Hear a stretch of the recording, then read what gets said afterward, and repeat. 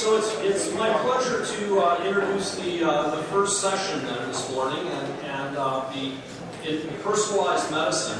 And uh, what we're looking at today are the translational programs, the our TPOP programs, uh, translational programs of applied health, and as a runway into the Genome BC's personalized medicine program. And so and we're really fortunate today to have all three of our personalized medicine uh, programs uh, here represented. And the first is going to be, uh, we're going to have uh, the, the uh, wonderful tag team of Bruce McManus and Paul Keown uh, present this.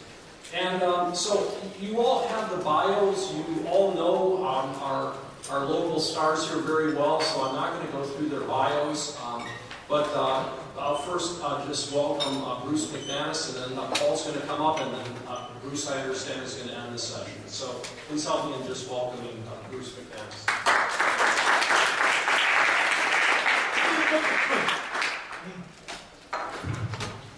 Thanks very much, Brad. It's nice to be at the, the symposium this year again and, and to, to learn.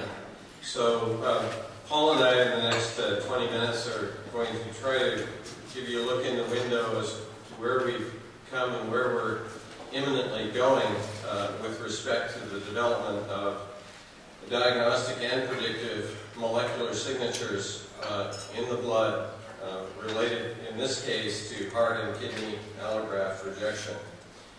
And uh, just to remind you, if you do not know, that uh, the Biomarkers and Transplantation Program is the adopted child of the uh, Center of Excellence for Commercialization and Research, the Center of Excellence for Prevention of Organ Failure, and Genome Canada funding in 2004 uh, really set us up for the TPA program and potentially for the PPM program. And this, this program was developed uh, focused on uh, acute and chronic rejection biosignatures for uh, heart and kidney allograft rejection, but it's evolved into a, a broader uh, program uh, upstream related to the life cycle of risk through presence, progression, response to therapy for heart, lung, and kidney failure. And so we're focused on this big problem. Uh, big chronic diseases, as Les Levin uh, alluded to uh, earlier. And uh, there's a growing awareness that peri, uh, pre-peri and postnatal origins of later chronic disease are even more important economically and medically uh, than the risks that we now focus on, which is going to drive this, this direction even further. And so the the value, perhaps, the value proposition of the Proof Center is to pursue superior health care by bringing diagnostic and predictive uh, management tools to physicians and their teams and guidance tools uh, for the pharmaceutical industry uh, in uh, drug discovery. With that framework, I wanted to uh, ask the question, why are we focused on diagnostics and predictives? And this slide, uh, lent graciously by Brad Stewart, the CEO of Silex, uh, shows you something that some people in the room know well. But uh, 2 to 3 percent of the expenditures in healthcare are in uh, the clinical laboratory, uh, but they affect uh, daily 75 percent of physician, key physician decision making. And so for a small amount of the expenditure, there's a huge impact on care of all, uh, of all patients.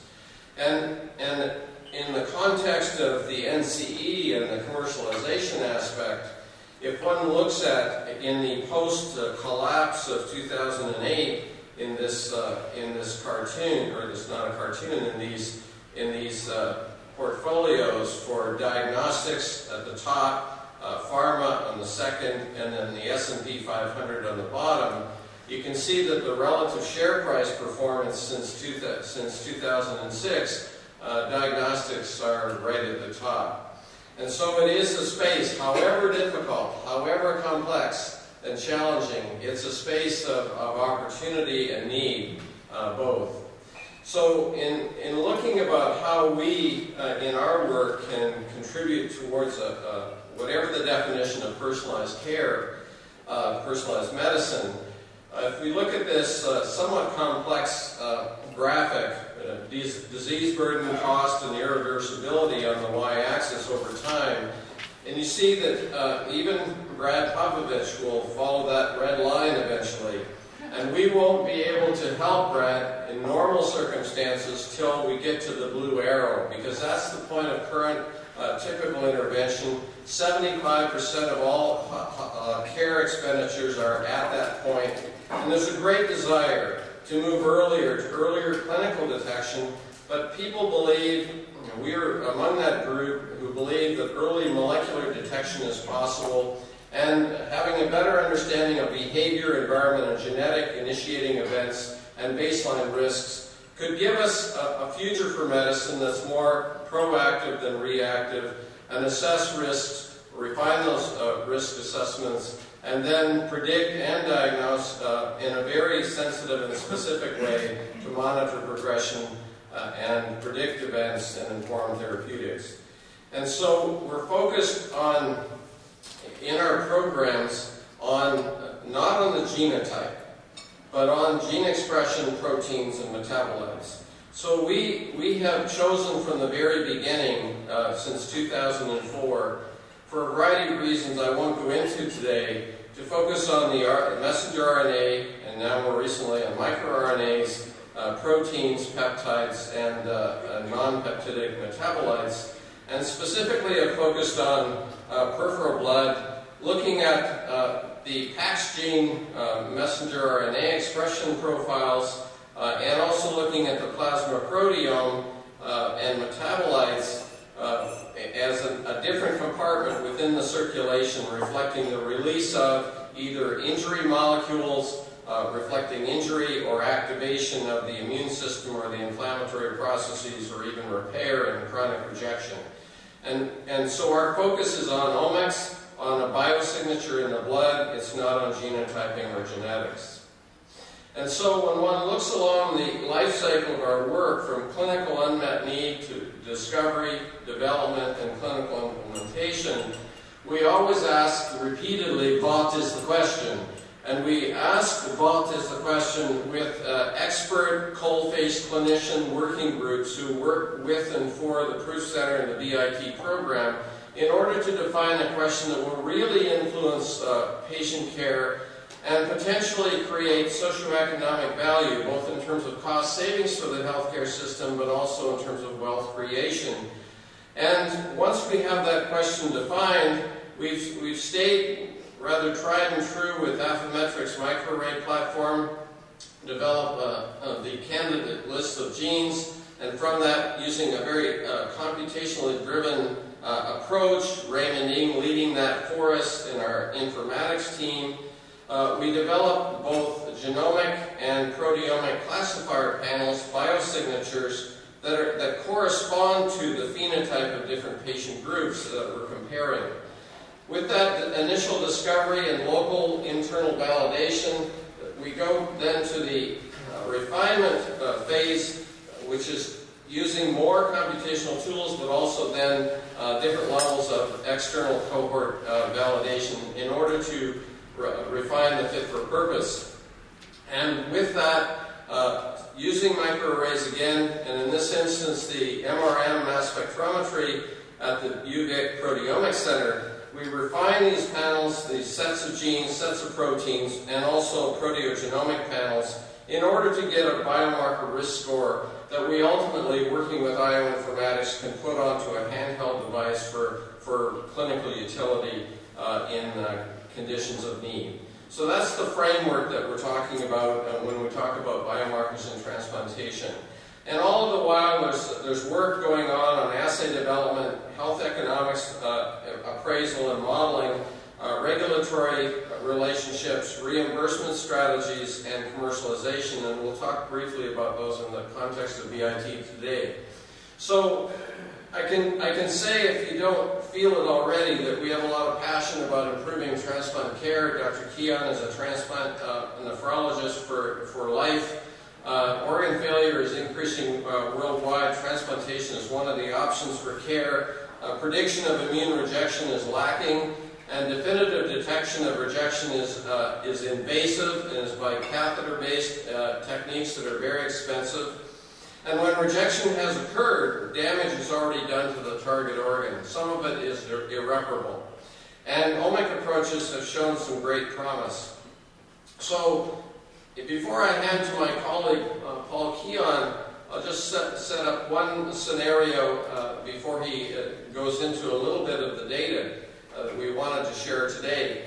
So, the unmet clinical need, uh, Maxine Vukic uh, presents with uh, the need for a heart transplant.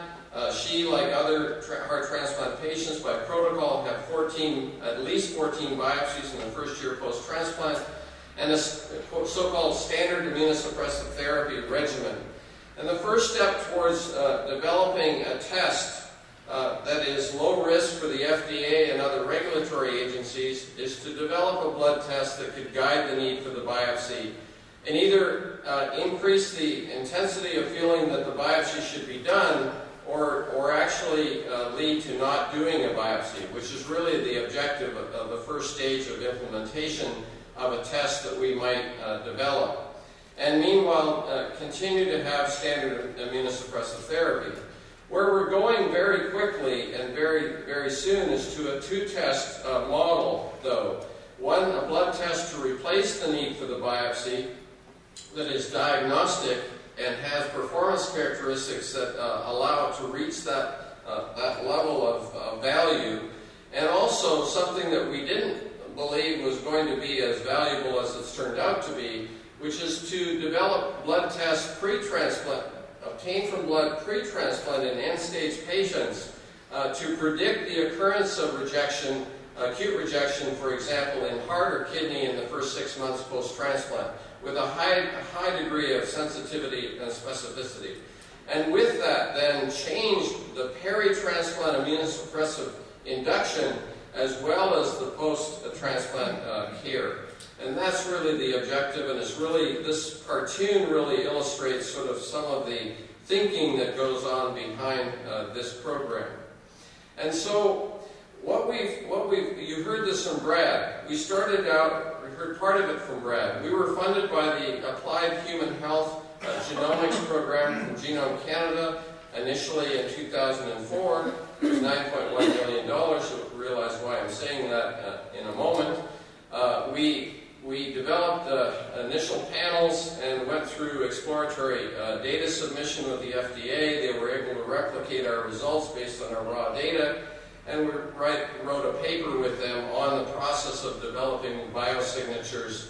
Uh, and this led then to competitive funding from the TPAW program that has spanned until uh, the end of uh, 2011 in order to get to get forward to do refinement of our gene and protein signatures for acute and chronic rejection, uh, to develop validation assays, and uh, to, uh, to enroll about 500 uh, patients in an international observational trial, as you see here, and then do pre-IDE submissions. Uh, and uh, this funding was 6.5 billion, and is, is actually, as Brad said, the bridge to the PPM program, the personalized uh, medicine program. I guess I probably got it backwards.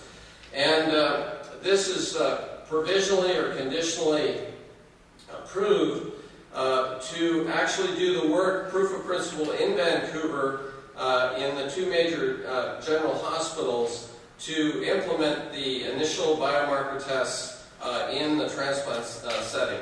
And so that's, that's really where we're going in 2012-13. And Paul Keown is going to set you up with uh, some of the work we did in BIT 1 and BIT 2.